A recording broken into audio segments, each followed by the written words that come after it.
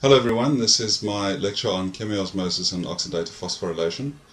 In the previous lectures we spoke about the composition of the electron transport chain and we also uh, discussed how the electrons actually move in this pathway through the electron transport chain ending up being donated to molecular oxygen to form water and we said that one of the, the outcomes of that electron transport uh, process was this proton gradient that is formed across the membrane which actually carries out the electron transport. And we're going to talk today about how this potential energy stored in this gradient is used to actually make ATP through a process called chemiosmosis and oxidative phosphorylation. So just to recap then, the citric acid cycle uh, oxidizes acetyl coenzyme A into two molecules of carbon dioxide while also capturing electrons in the form of three NADH molecules and one FADH and those of course are carried on to the electron transport chain and those electrons are so-called high energy electrons and they each uh, contain a, a each of these coenzymes contain a pair of electrons with a high transfer potential. Those electrons are ultimately transferred through the electron transport chain onto oxygen to form water. So the process of electron transfer is coupled to transporting protons from, if we're talking about eukaryotes and we're talking about mitochondria, from the matrix of the mitochondria to the intermembrane space. If we were talking about prokaryotes, an example Escherichia coli, we would say that the electron transport chain takes place in the plasma membrane, and so the transfer would be from the uh, of the protons would be from the cytoplasm into that periplasmic space of E. coli.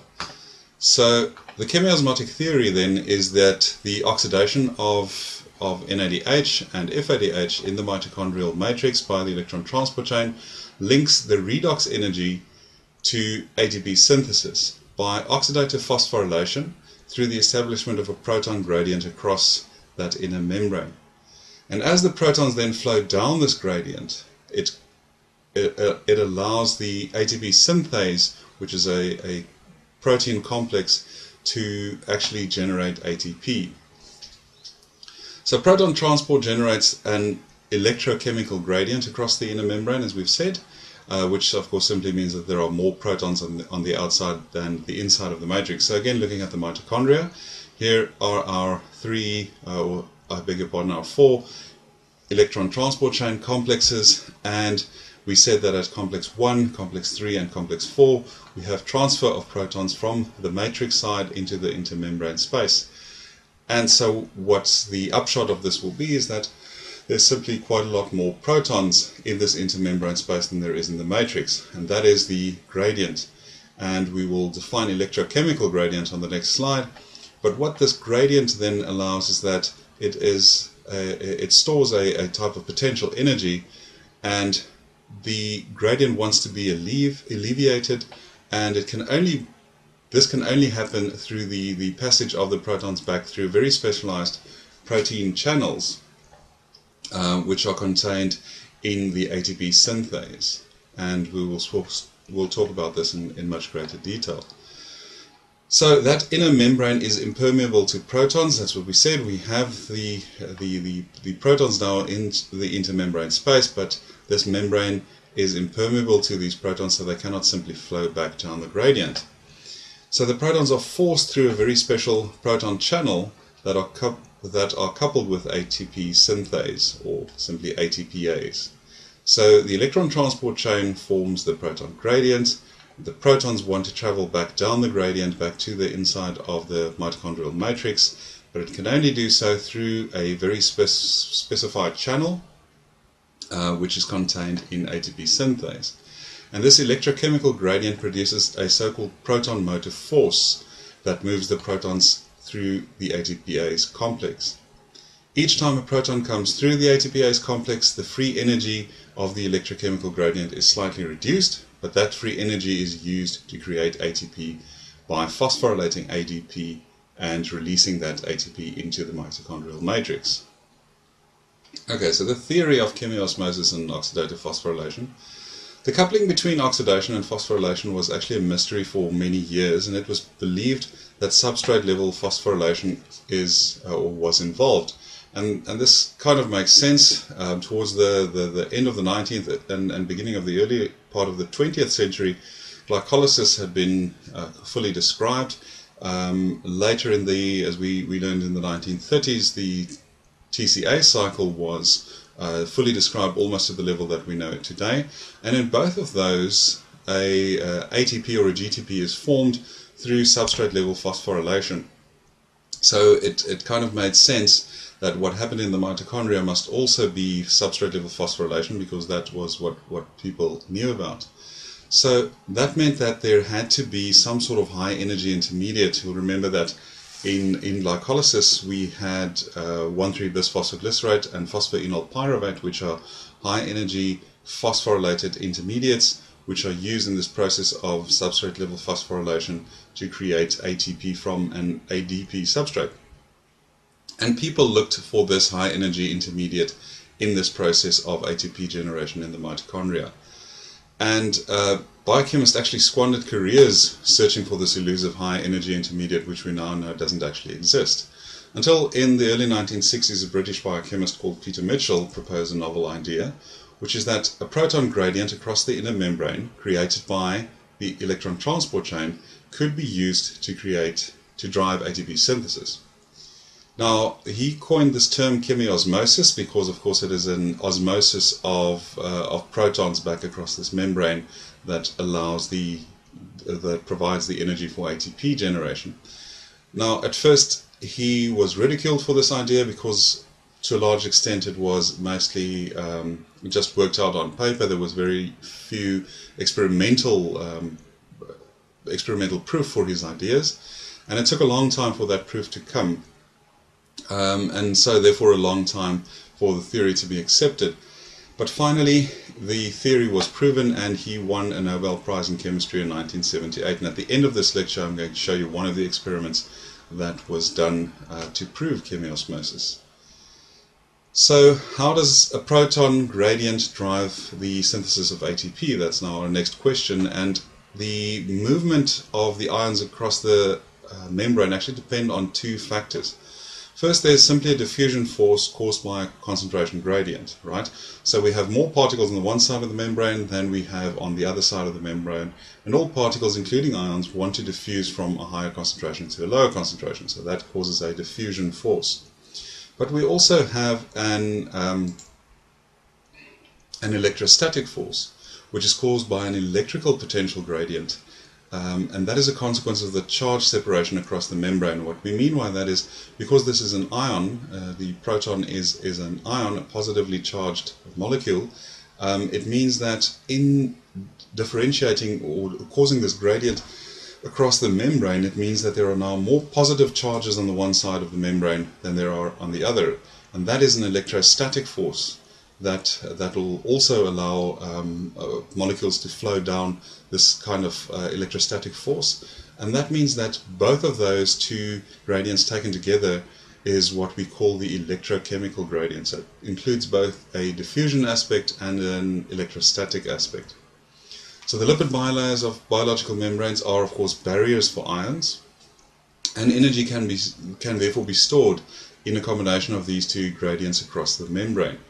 And only a special type of membrane protein uh, which contains a special type of channel um, which is very selective just for protons can allow those ions to move back across the membrane. So in the chemiosmotic theory, it is uh, transmembrane ATP synthases that convert the energy of the spontaneous flow of protons, which is caused by this proton motive force, um, through the ATP synthase, um, they then convert that into the chemical energy of an ATP bond. So they turn this stored electrochemical potential into the what is the energy currency of the cell, uh, namely ATP.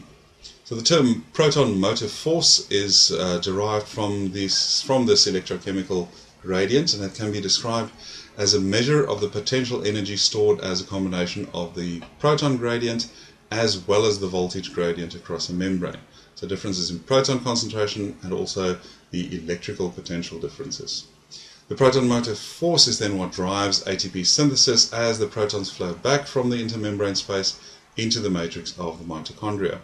And the amount of energy that can be stored in this gradient can actually be calculated as uh, free energy difference for protons across the inner mitochondrial membrane. And we are this this is one of the um, equations that are used to, describe this where this uh, delta G, of course, is the Gibbs free energy, and it is a function of the ratio of proton concentrations on the two sides of the membrane. So the C1 and the C2 um, actually represent the concentrations of the proton on either side of the membrane, uh, the charge of the proton, and the potential difference uh, across the membrane, as well as Faraday's constant. Now, we're not going to go into further detail about uh, using this, this equation, but what I wanted to illustrate was that you can see that it is mostly dependent, it is almost entirely dependent on the concentration difference on the, the two sides of the membrane. So if the concentration of protons on one side of the membrane is going to um, be much larger than on the other side, we're going to have a large delta G difference, so a large potential energy uh, difference available for the uh, for the production of ATP. So then, just a brief summary at this point of, of uh, energy metabolism. The continual production of ATP is therefore dependent on the maintenance of a proton reservoir in the intermembrane space. The, this is dependent on the continued movement of electrons along the electron transport chain, which itself is dependent on the availability of oxygen. And we because we need oxygen to enable the electron transport chain to continue. Of course, oxygen needs to be there as the final electron acceptor, and we also need food to provide the sugars or fats or proteins that are actually um, turned into these, uh, well, from from which high energy electrons are actually placed onto the coenzymes, which is of course what is fed into the electron transport chain. So, energy metabolism is therefore harvesting of high energy electrons so that the high energy electrons can be fed into the electron transport chain.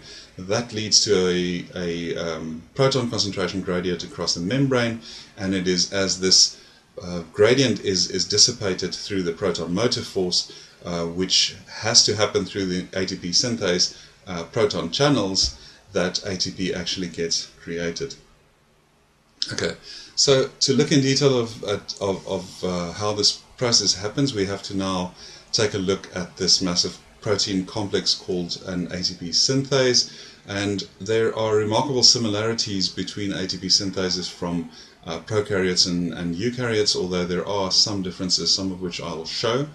But um, they are drawn in, in many different ways in, in textbooks and in images that you might see. Um, they are sometimes shown as different sides up, what is important to remember is that um, it has a part that is embedded in the membrane and that of course is going to contain our proton channel and it has a part that is uh, embedded or, or that is free inside either the mitochondrial matrix in, in uh, if it's eukaryotes or of course inside the cytoplasm if it was a prokaryote. Okay, so let's have a look at some of this detail and uh, in terms of the structure and then we will have a look at how ATP is actually uh, synthesized. So proton diffusion through the ATP synthase is what drives ATP synthesis, we said, and we we look at the ATP synthase and we say that it's got basically got two parts. And I said one part is embedded in the membrane and one part is in the mitochondrial matrix, and we call those the F1 and F0 parts. And that why uh, that is why this uh, structure is also sometimes referred to as and F1, F0 ATPase. Uh, as I said, it appears in the inner mitochondrial membrane and it faces the matrix side. So the F1 part is what actually catalyzes the synthesis of uh, ATP from ADP. So this is the, the synthesis part of this complex. Specifically, these beta subunits um, are involved in actually making ATP and all of the other subunits are basically there to support that function. The F0 part is uh, the transmembrane part of the protein complex and it contains the pore through which the protons are channeled. Now, as I said, there are many different types of these uh, ATP synthases. Looking at the, the yeast ATP synthase, it actually looks a little bit different from the E. coli one. Um, we have the F1 parts um, are actually named for Greek alphabet letters and the F0 part is named for English alphabet letters and you'll see they're always named in order of decreasing uh, protein size. One thing I want to show you over here is that they are also subclassed, uh, apart from being called F1 and F0, as either stator or rotor. And that should, uh, from the name, just give you a clue that some, part, some of these parts are stationary and some of them are rotary. And that is very important for the function of the ATP synthase. Okay, so now the F1 consists of five polypeptides, alpha, beta, gamma, delta, and epsilon, and those subunits are, as I said, named for Greek letters in orders of decreasing molecular weight. They are present with their stoichiometry, although this might differ for different organisms, um, but the general stoichiometry is there are three of the alpha subunits, three of the beta subunits for each one of the gamma, delta, and epsilon. And you'll see the way that they are ordered we have the alpha and beta subunits are homologous to each other and they're also organized in a uh, in a ring where we have alternative alpha and beta units. So you have a beta unit, you have an alpha unit, and if we look at it from the top, um, there are the six of them are actually spaced in this way, where it's an alpha, a beta, an alpha, and so on. Um, there are three nucleotide binding uh, catalytic sites located at A and B interfaces, but predominantly involving residues of the beta subunits. So there are binding sites for ATP and ADP on um, on the, the beta subunits. The alpha subunits bind ATP, but they're actually not catalytic. So the alpha subunit contains a tightly bound ATP, but is actually inactive in catalysis and it is the beta subunit that, that has um, either an ADP bound to it or an ATP bound to it or the other one is empty. It's always in this way. It's, one of them has an ADP, one of them has an ATP, and one of them is empty. But we will see um, when we talk about the actual ATP synthesis how um, this is actually part of the function as each of the beta subunits actually cycles through three different um, through each of the th three different states, structural states, and that is the, the most important part of ATP synthesis. Magnesium also binds with the adenine nucleotides in both the alpha and beta subunits, and the gamma subunits um, form a shaft, and it is the shaft that connects the F0 and the F1 uh, part. Specifically, it connects the rotary part of the complex structure to, um, to the alpha and beta subunits. So if we look at the F0 subunits, they're named A, B, C, and sometimes D and E in different organisms, and also that goes with decreasing molecular weight. So the stoichiometry of these subunits are a little bit different. Um, they normally have uh, an, a 1A, in, in the case of E. coli, it's 1A subunit, 2 B subunits, and then 10 to 12 C subunits. In yeast, we saw that it could be 15 or more. And um, this is very important when, when we talk about the function of this complex and because it actually plays a big role in how much um, ATP can be synthesized from the same strength of, uh, of, of protein, proton gradient. Those C subunits form a ring which acts as the rotor, so this is a very important part to have a look at now this C subunits, these 12 of them, um, as they're illustrated over here, they form this ring and they are actually going to be um, the most important part in terms of the, the rotary motion of, um, of the ATPase. The A and B subunits form a stator, uh, a stationary part. Um, the A subunit is what actually contains the proton channels and um, it is connected with the B subunits to these um, alpha and beta subunits of the F1 part and these are all actually stationary. So the C, the uh, gamma and the epsilon are the actual um, rotary parts. Okay, so ATP synthase is a rotating molecular motor. The C, gamma and epsilon constitute the actual uh, rotating portion, um, the, the, the rotor of, of this molecular motor and the B, D and H subunits form a long slender stalk that connects the F1 and uh, the F0.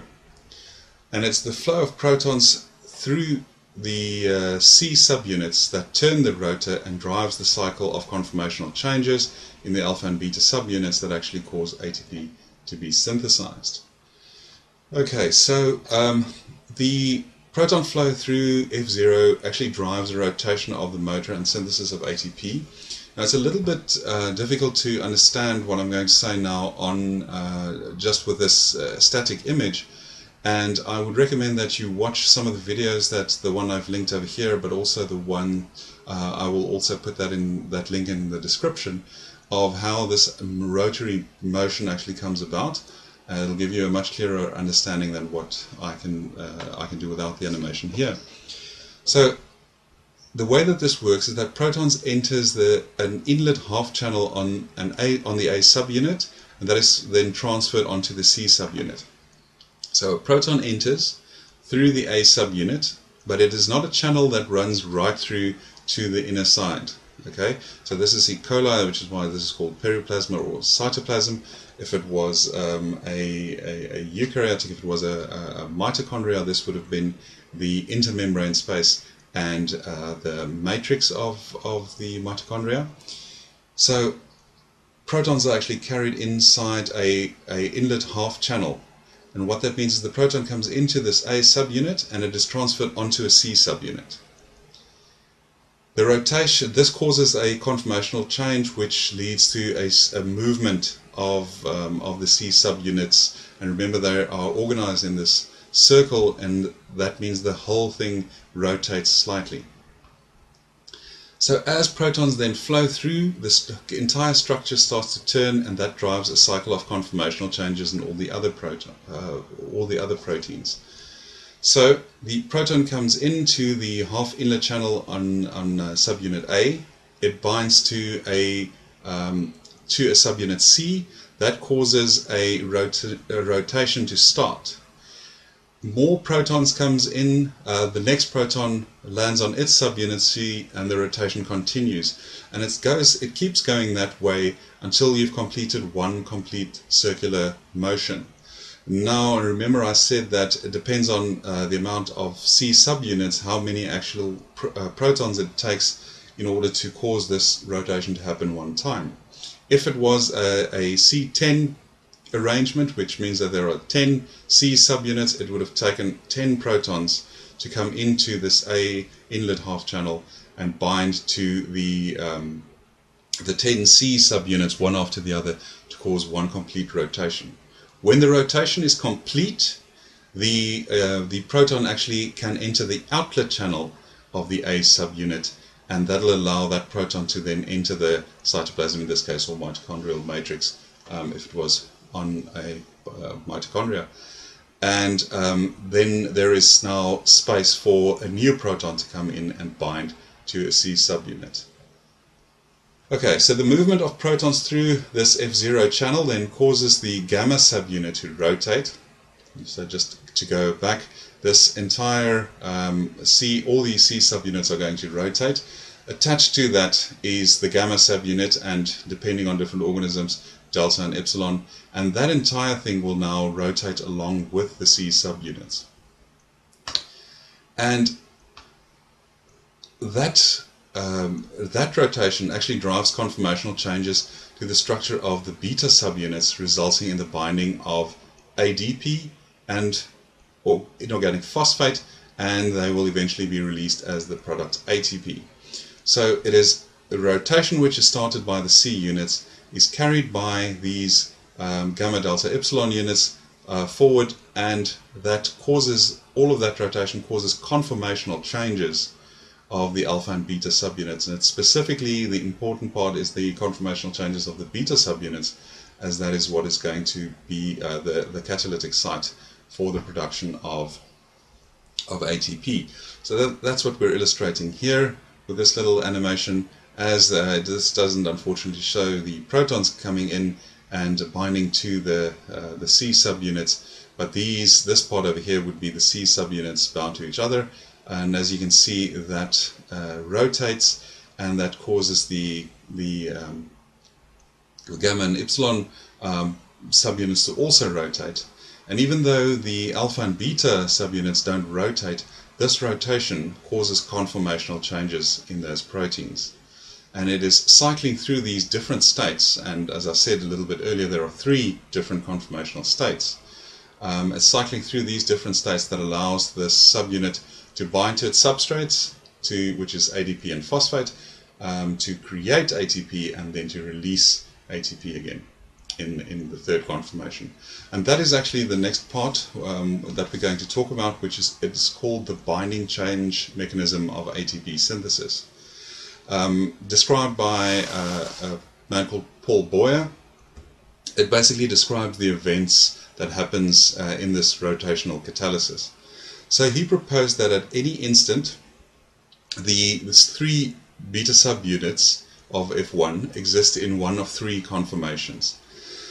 And these different states actually represents the three steps of ATP synthesis. And each uh, site steps through all three conformations to make ATP. So it's not as if one beta unit is always in one type of conformation and the others all in, in, in a different one. All three uh, uh of the, the, the beta subunits will, as the rotation continues, step through these three different conformational states. So, in Paul Boyer's binding change mechanism, the three catalytic sites thus cycle through the three intermediate states, and that allows ATP synthesis to happen. So, the beta subunits catalyze the synthesis of ATP from ADP and, and phosphate. Each subunit has one catalytic site for ATP synthesis, and each subunit can be in one of three conformations. It can be either in this open conformation, as it is illustrated over here, and that has very low affinity for substrates and products, so nothing really binds to that. And that is important because after ATP gets synthesized, it cycles to this um, conformation, and that actually allows ATP to be released. We have the loose conformation, and that has um, that has affinity for ADP and phosphate. So that is the conformation which the substrates can actually bind, and then we have the tight conformation, which binds to ligands very tightly, and that this is the catalytic uh, catalytically active conformation. So this is where ADP actually gets phosphorylated to ATP. Okay, so let's learn look at the mechanism ADP and, and, and phosphate binds to this loose site, the L site. So if we look at the three different, for, for simplicity, it's just the, uh, the beta subunits that are um, illustrated over here. And we will see as you go through this um, process, this represents further rotation so that uh, we actually can allow conformational changes of the three different beta subunits. So you'll, if you just look at this pink one, it'll cycle from open to loose to tight um, and each of them will will basically uh, go through these three different conformations as the rotation carries on. So let's start with this site over here, which is in the loose um, conformation. ADP and phosphate can now bind in this uh, loose conformation, uh, which we will call for simplicity the L site. Uh, protons now flow through the F0 channel that turns the, uh, turns the, the, the gamma subunit, and that drives the that rotation drives the conformational change of the beta subunits. And so what happens is that the, the subunit which was in the loose conformation now goes to the tight conformation, which is illustrated over there. The one that was in the tight conformation will go to the open conformation, and the one that was in the open conformation will now um, will now go to the loose conformation. So um, in the new uh, tight site, the new T site, which is what is formed over here, if we, we remember we said in the first one, um, the ADP and phosphate is now bound. Uh, the conformational change happens to uh, to the, the, the tight conformation, and we actually get the phosphorylation of ADP so that ATP can form. And with one further turn of the gamma subunit, the T site now becomes the O site, the open site and that actually allows ATP to be released and a new ADP and phosphate can bind to a new L site. And so the cycle continues. So as long as protons can flow through the ATP synthase um, F0 part, the rotation can continue, and as long as the rotation can continue and there is a substrate available, the ADP and the phosphate, um, ATP can continually be synthesized. So that then basically the binding change mechanism of ATP synthesis. So um, earlier I said that there was an experiment that was done to actually prove that this is the way that um, ATP gets produced. And uh, this is just in very broad strokes uh, the, the experiment, uh, which was done many years after uh, Peter Mitchell um, actually described his experiment. And what the scientists uh, did was they reconstituted a, a synthetic vesicle. Uh, so they, they made a synthetic uh, lipid bilayer and they isolated a ATP synthase, a complete ATP synthase, and they basically made a lipid bilayer little vesicle which contains an ATP synthase and a protein called a bacteriorhodopsin. Now what is special about this bacteriorhodopsin protein is that when you shine light on it, it'll transfer protons across uh, across this protein. So it allows protons to go from the one side of a membrane to the other. So no light, no proton transfer. As soon as you switch on the light, you will see uh, protons being transferred. And what they then saw was that as long as they had ADP and phosphate available, once you turn the light on and proton transfer could happen, that the ATP synthase on its own could actually produce ATP, and that was seen as a, a proof of the uh, chemiosmosis theory. So this is, I'm going to end this lecture here. In the, the last part, uh, the last lecture on um, electron transport chain and oxidative phosphorylation, we're going to look at some of the inhibitors of oxidative uh, phosphorylation, um, and there's also the question of why certain organisms actually produce more ATP from the same amount of substrate than others.